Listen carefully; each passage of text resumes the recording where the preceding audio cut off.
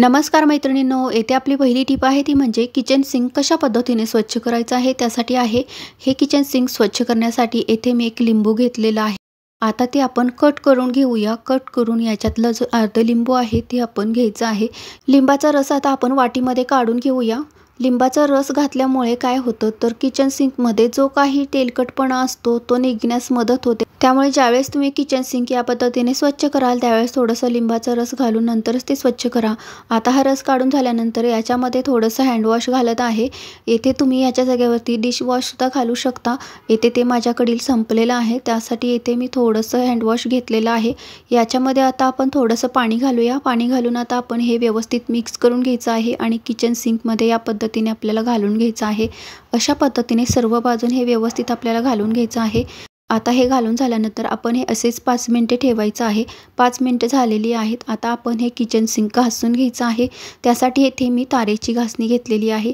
तारेची घासणीने आपण या पद्धतीने हे सर्व बाजूने व्यवस्थित असं घासून घ्यायचं आहे. ज्या ठिकाणी आपल्याला टूथब्रशची गरज लागणार आहे त्या ठिकाणी आपण हे टूथब्रशने घासून घ्यायचं आहे. किचन सिंक घासून झालेलं आहे. आता आपण ही घासणीसुद्धा स्वच्छ धुवून घेऊया. कासनी धुतल्यानंतर हे किचन सिंक आपण सर्व बाजूने व्यवस्थित असं धुवून घेऊया. आता आपण हे किचन सिंक धुतलेलं आहे. तुम्ही बघू शकता किती स्वच्छ झालेलं आहे. सर्व याच्यातील तेलकटपणा निघून गेलेला आहे. आठवड्यातून एकदा तरी या पद्धतीने किचन सिंक नक्की स्वच्छ करा. आता आपण मिक्सरच्या भांड्याची टीप बघणार आहोत. ज्यावेळेस आपण रोजच्या वापरामध्ये मिक्सरच्या या भांड्याचा वापर करत असतो त्यावेळेस आतून आणि बाहेरून तर ते व्यवस्थित आपण धुतच असतो. पण खालच्या बाजूने आपण हे व्यवस्थित धुवत नाही. तर ते आठवड्यातून एकदा तरी आपण या पद्धतीने या झाकणाची रिंग आणि हे मिक्सरच्या भांड्याचा खालचा जो भाग आहे ते आपण काढून या पद्धतीने व्यवस्थित धुतलं पाहिजे. तुम्ही येथे बघू शकता ही रिंग काढल्यानंतर या रिंगच्या खाली किती घाण झालेली आहे ते बघा. त्यासाठी हे मिक्सरचं भांडं आपण आठवड्यातून एकदा तरी या पद्धतीने व्यवस्थित असं स्वच्छ करून घेतलं पाहिजे. हे मिक्सरचं भांडं स्वच्छ करण्यासाठी येथे मी कोलगेटचा वापर करत आहे. आता याच्यातली थोडीशी पेस्ट आपण या पद्धतीने या डिशमध्ये काढून घेऊया. पेस्ट घेऊन याच्यामध्ये आपल्याला थोडासा लिंबाचा रस घालून घ्यायचा आहे. लिंबाचा रस घालून झाला की हे दोन्ही आता आपण टूथब्रशच्या साह्याने व्यवस्थित असं मिक्स करून घ्यायचं आहे. हे दोन्ही मिक्स करून झाले की याच्यामध्ये आता मी थोडासा बेकिंग सोडा घालत आहे. बेकिंग सोडा घालूनही आपल्याला हे व्यवस्थित मिक्स करायचं आहे. याच्यामध्ये आता थोडंसं पाणीसुद्धा घालत आहे. अगदी चमच्याभर पाणी घालायचं आहे. आता हे व्यवस्थित मिक्स करून घेऊया. मिक्स करून झाले की हे जे तयार करून घेतलेलं सोल्युशन आहे ते आपण या मिक्सरच्या भांड्याला आणि या रबरला या पद्धतीने लावून घ्यायचं आहे. सर्व बाजूने या पद्धतीने हे मी लावून घेत आहे. लावून झाले की आता आपल्याला हे असेच पाच ते दहा मिनटे ठेवायचं आहे त्याच्यानंतर ते आपल्याला घासायचं आहे. पाच मिनिट झालेले आहेत. आता हे आपल्याला घासून घ्यायचं आहे. अगोदर येथे मी हा रबर घासून घेत आहे. अशा प्रकारे येथे हा रबर घासण्यासाठी तुम्ही टूथब्रशचाच वापर करा. त्याच्यामुळे खूप पटकन स्वच्छ होते. अशा प्रकारे या जुन्या खराब झालेल्या टूथब्रशचा वापर आपण मिक्सरचं भांडं स्वच्छ करण्यासाठी करत आहोत. अशा प्रकारे हे मिक्सरचं भांडं खालच्या बाजूने घासून घेतलेलं आहे. तसेच झाकण आणि त्याचं रबर हे घासून घेतलेलं आहे. आता हे तुम्हाला धुवून दाखवते किती स्वच्छ झालेलं आहे ते बघा. जो काही काळपट पडणार रबरला तसेच झाकणाला आणि मिक्सरच्या भांड्याला खालच्या बाजूने आलेला होता तो आपण इथे घासून घेतलेला आहे. आता हे मिक्सरचं भांडं तुम्हाला मी दाखवते किती स्वच्छ झालेलं आहे ते बघा. आता हा रबर तुम्ही बघू शकता अगोदर किती काळपट झालेला होता तसेच त्याच्यामध्ये घाणसुद्धा खूप अडकलेली होती. हे झाकणसुद्धा बघू शकता किती काळपट झालेलं होतं. आणि हे मिक्सरचं भांडं खालूनसुद्धा किती खराब झालेलं होतं. त्याच्यातील जो काही काळपटपणा होता तो सर्व निघालेला आहे. याच्यामध्ये तुम्हाला आणखीन स्वच्छ करायचं असेल तर तुम्ही इथे अगरबत्तीच्या काडीने सुद्धा हे स्वच्छ करू शकता. अशा पद्धतीने हे मिक्सरचं भांडं तुम्ही आठवड्यातून एकदा तरी नक्कीच स्वच्छ करा. आता मी तुम्हाला या जुन्या तुटलेल्या बांगडीचा कशा पद्धतीने वापर करायचा आहे ते दाखवणार आहे. ही बांगडी तुम्ही बघू शकता याची डिझाईन तुटलेली आहे. अशा या तुटलेल्या जुन्या बांगडीचा आपण वापर या पडद्याला पॅक करण्यासाठी करणार आहोत. अशा पद्धतीने हा पडदा आपल्याला गोळा करून घ्यायचा आहे आणि नंतर ही बांगडी आपल्याला या पद्धतीने या पडद्याला लावून घ्यायची आहे. तुमच्याकडे जर अशी बांगडी नसेल तर याच्या जागेवरती तुम्ही दुसरी कुठलीही बांगडी खालच्या बाजूने पडद्याच्या घालून अशी पॅक करू शकता. या पद्धतीने आता या बांगडीचा उपयोग आपण करून घेतलेला आहे. तुम्हाला ही आयडिया आवड असेल तर नक्कीच ट्राय करा. आता मी तुम्हाला या सेलो टिपसाठी एक युजफुल टिप दाखवणार आहे. हा टेप असो वा दुसऱ्या कुठल्याही प्रकारचा चिकट टेप असो त्यासाठीही आपल्याला युजफुल टीप वापरायची आहे. ज्यावेळेस आपण याच्यामध्ये चिकट टेप काढत असतो त्यावेळेस तो आपल्याला पटकन मिळत नाही. तर यासाठी तो पटकन मिळण्यासाठी आपल्याला कुठली ट्रिक करायची आहे ते बघायचं आहे. याच्यासाठी तुम्हाला एक खूप छान अशी ट्रिक दाखवणार आहे. ती ट्रिक तुम्हाला नक्कीच आवडेल. आता त्यासाठी आपल्याला कशाचा वापर करायचा आहे ते बघूया. येथे मी काही जुन्या टिकल्या घेतलेल्या आहेत.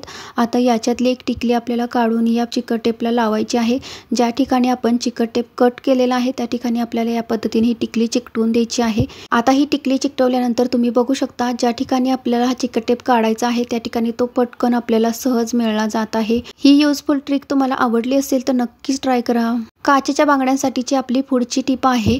या काचेच्या बांगड्या आपल्याला ज्यावेळेस कुठे प्रवासात घेऊन जायचे असते त्यावेळेस आपण या काचेच्या बांगड्या जर बॅगमध्ये किंवा पर्समध्ये अशाच टाकल्या तर त्या तुटण्याची शक्यता असते. अशा वेळेस या काचेच्या बांगड्या कशा पद्धतीने व्यवस्थित न्यायच्या आहेत त्यासाठी आपल्याला कुठली ट्रिक करायची आहे ते बघायचं आहे. येथे मी असा फोम सील घेतलेला आहे. अशा प्रकारचे हे फोम सीट आपल्याला नवीन कपड्यामध्ये मिळतात. त्यावेळेस ते आपण ते टाकून न देता त्याचा या पद्धतीने वेगवेगळ्या पद्धतीने वापर करू शकतो. या बांगड्या आपण या पद्धतीने या फोम सीटवरती ठेवायच्या आहेत. आणि अशा प्रकारे आपल्याला या बांगड्या गुंडाळून घ्यायच्या आहेत. या पद्धतीने तुम्ही या फोम सीटचा वापर करू शकता. आणि जर का तुमच्याकडे असा फोम सीट नसेल तर याच्या जागेवरती बांगड्या व्यवस्थित ठेवण्यासाठी तुम्ही जाड कापडाची पट्टीसुद्धा कट करून त्याच्यामध्ये या पद्धतीने बांगड्या व्यवस्थित ठेवू शकता. त्याच्यामध्ये सुद्धा बांगड्या फुटणार नाहीत त्यासुद्धा व्यवस्थित जातील. त्यामुळे काचेच्या बांगड्या व्यवस्थित नेण्याची ही ट्रिक तुम्हाला आवडली असेल तर नक्कीच ट्राय करा. पुढची टीप आहे ती म्हणजे दोरा सुईमध्ये ओवण्यासाठीची ट्रिक आहे. येथे आपण या पद्धतीने सुईमध्ये दोरा ओवण्याचा प्रयत्न केला तर तो पटकन ओवला जात नाही. अशा पद्धतीने ज्यावेळेस तो आपण ओवतो त्यावेळेस तो इकडे तिकडे जातो. अशा वेळेस सुईमध्ये दोरा सहज होण्यासाठी येथे आपण कुठली ट्रिक करणार आहे ते बघायचं आहे. येथे आता आपल्याला ती कुठली ट्रिक आहे ते बघूया. आता येथे आपण काय घेणार आहे ते बघूया. येथे मी दहा रुपयाचं कॉईन घेतलेलं आहे. आता या कॉईनचा वापर करून आपण सुईमध्ये दोरा कशा प्रकारे व्हायचा ते बघायचं आहे. आता इथे मी एक असा प्लॅस्टिकचं झाडू घेतलेला आहे. या झाडूची आपल्याला एक काडी काढून घ्यायची आहे. अशा पद्धतीने इथे एक छोटीशी काडी मी काढून घेतलेली आहे. आता ही जी प्लॅस्टिकची काडी घेतलेली आहे ती काडी आपल्याला कॉईनवरती चिकटवायची आहे. त्यासाठी इथे मी सेलो टेप घेतलेला आहे. टेपने ही काडी आपण या पद्धतीने कॉईनवरती चिकटवून घ्यायची आहे.